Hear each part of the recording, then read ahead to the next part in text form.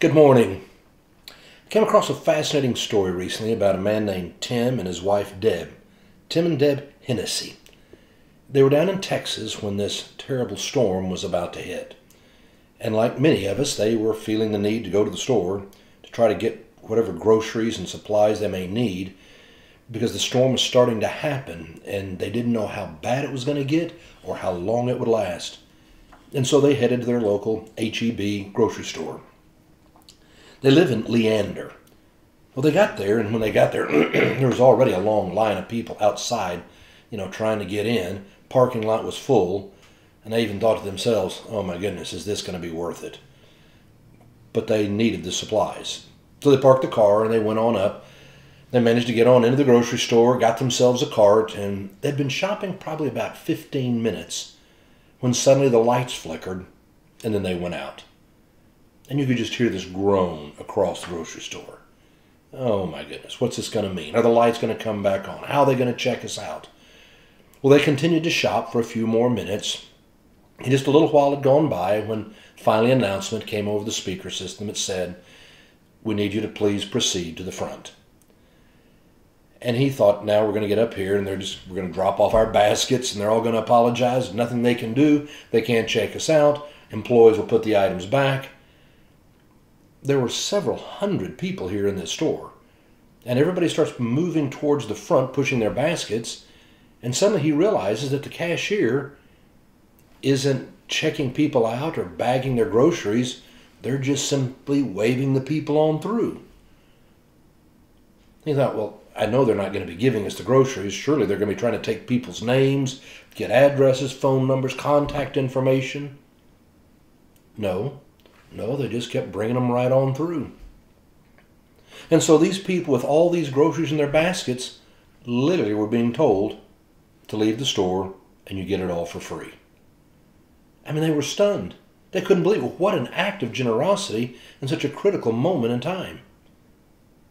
They got outside, and of course, it was already icy and people were struggling. And he said the neatest thing happened. Suddenly, people started helping one another. You could see people struggling, trying to get their baskets pushed. People stopped to help one another get their basket pushed over to their car and not fall down. Then they would help people unload their groceries into their car because there were no bags that were all done. You're just unloading everything individually.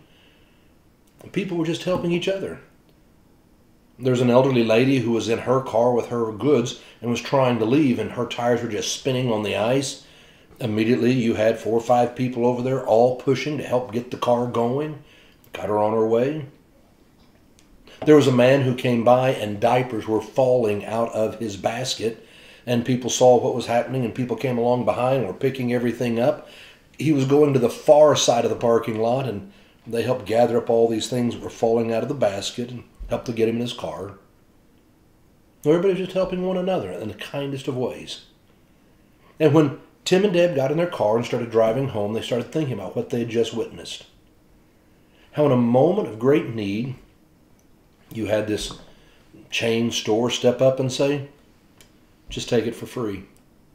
And then all the people who started saying, let's just help one another in this moment. No one was anxious, no one was upset. Everybody just helped one another. They really had seen humanity at its best. A moment when people really remembered we're here to love one another. And they had done it. When Tim and Deb got home, they started thinking about how blessed they had been, and they made a decision. They decided to write a check to the local food bank for the approximate value of the groceries that they had just received, and to write another check to a faith center, a faith based retreat center near them, again to help give the money to pass it on. That night he posted it on Facebook, what he had seen with all these people and what HEB did. He was sharing it with a few friends. He had no idea when he got up the next morning. It had gone viral, literally across the nation and the world, people seeing kindness from a large corporation and kindness from individual to individual.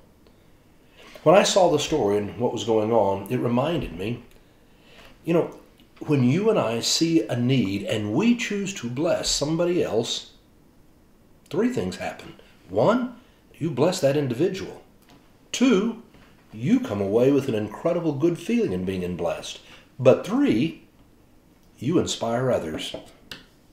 You help to create a ripple effect that goes on and on.